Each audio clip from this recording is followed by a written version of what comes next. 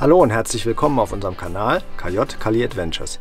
Ich bin der Jan und heute gibt es das erste Video zum Thema selber bauen im VW T6 California Ocean. Ansonsten erwarten euch auf unserem Kanal Eindrücke unserer Reisen und das eine oder andere nützliche Zubehör rund um unseren Bulli. Wenn ihr also unseren Kanal noch nicht abonniert habt, wäre jetzt der richtige Zeitpunkt.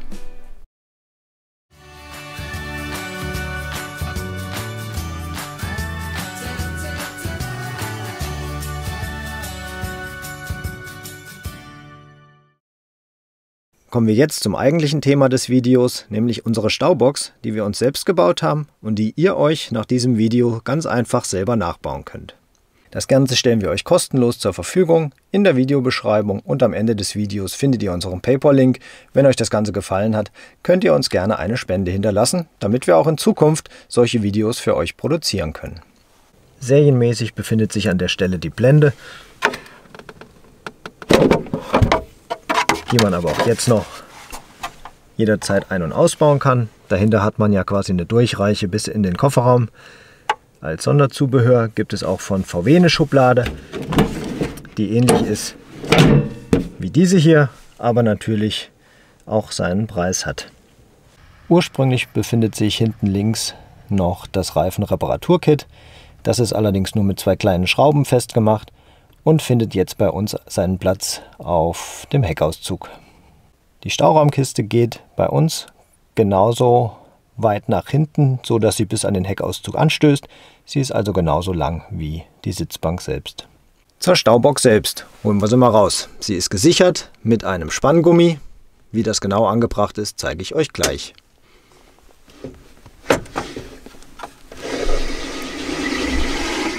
Da ist das gute Stück. Wir verwahren da drin hauptsächlich Dinge rund um den Kaffee auf, unsere French Press, unseren Kaffee und ja, was haben wir noch drin? Kakao. Die Box besteht aus Multiplex Birke mit 1 cm Stärke.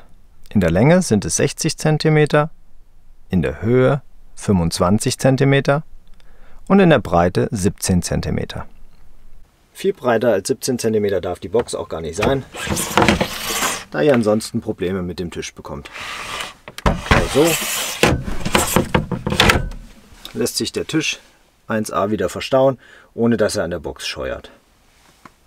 Das Innenmaß beträgt 15 x 58 cm. Aus einem Abfall habe ich einfach noch eine Zwischenwand gemacht, die nicht fest verschraubt ist, sondern die ich einfach beliebig an eine Position klemmen kann,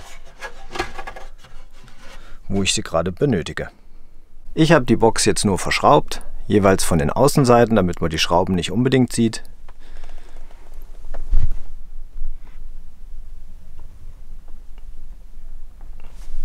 Und natürlich auch von unten.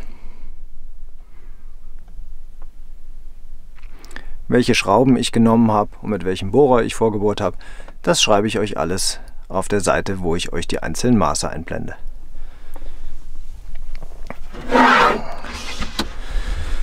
Ja, vorne drin ist noch eine Griffmulde, die ist jetzt nicht super schön geworden.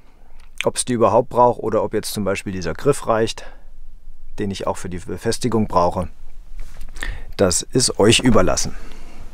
Damit die Box gerade steht und nicht hier auf der Sitzschiene aufliegt und damit sie sich auch leichter ziehen lässt, sind unter der Box noch Filzkleider angebracht. Damit kommt sie in etwa auf eine Höhe von 26 cm viel mehr ist auch nicht möglich, weil ihr sonst wieder hier oben unter der Plastikkante hängen bleiben würdet. Schauen wir uns jetzt noch an, wie ich die Box befestigt habe. Dazu habe ich einfach ein Expanderseil zusammengebunden. Und das kommt dann um die zwei vorhandenen Ösen. Und damit kann ich es dann wieder ganz normal vorne an dem Griff einhaken. Schauen wir uns noch einmal an, wie die Box da drin verschwindet.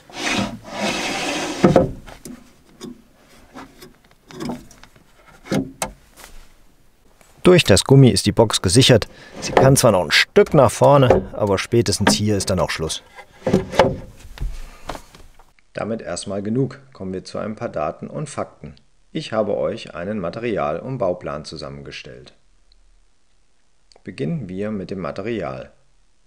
Und als allererstes haben wir die Multiplex-Platte. Nehmt mindestens 90 x 60 cm in einer Stärke von 1 cm. Bekommt ihr für um die 20 Euro, meist in Standardgrößen. 28 Schrauben.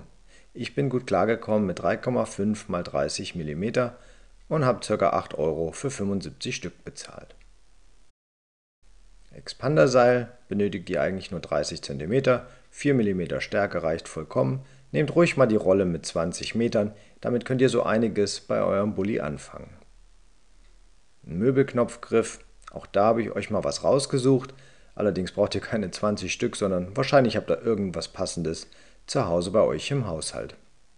Anstelle von Filzkleidern habe ich euch mal Teflonkleider rausgesucht, weil die einfach viel weniger Schmutz aufnehmen. Ihr benötigt vier Stück, die bekommt ihr für knappe 4 Euro. Und zu guter Letzt, je nachdem wie ihr die Box gestalten wollt, benötigt ihr noch Holzfarbe, Holzwachs, Pinsel, Farbrolle, Schleifpapier. Je nachdem, für was ihr euch entscheidet. Insgesamt, wenn man nur mal die Kosten für die Box an sich nimmt, sind wir bei 35 Euro und ihr habt zwei Stunden Spaß beim Basteln. Kommen wir nun zum Bauplan. Da sind zum einen die beiden Seitenwände mit 60 x 24 cm. Wenn ihr also eine Platte in 60er Breite wählt, braucht ihr einfach nur in Streifen abschneiden. Als nächstes den Boden mit 60 x 17 cm. Und zu guter Letzt noch die Vorder- und die Rückwand mit 24 x 15 cm. Und dabei bleibt dann genau das kleine Stück übrig, was ich bei mir als Trennsteg genutzt habe, mit ca. 11 x 15 cm.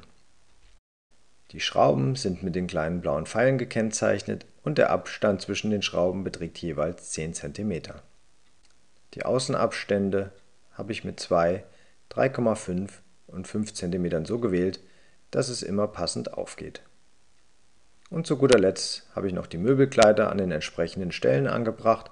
Achte darauf, dass diese nicht stärker sind als 1 cm, damit die Box nicht höher als 26 cm kommt. Alle Produktlinks findet ihr in der Videobeschreibung. So viel also zu unserer selbstgebauten Staukiste. Ein weiteres Projekt, was wir umgesetzt haben, war der Schrankausbau, den wir auch selbst gemacht haben. Wenn ihr auch hierzu gerne mal ein Video sehen wollt zum Nachbauen, schreibt es uns gerne in die Kommentare.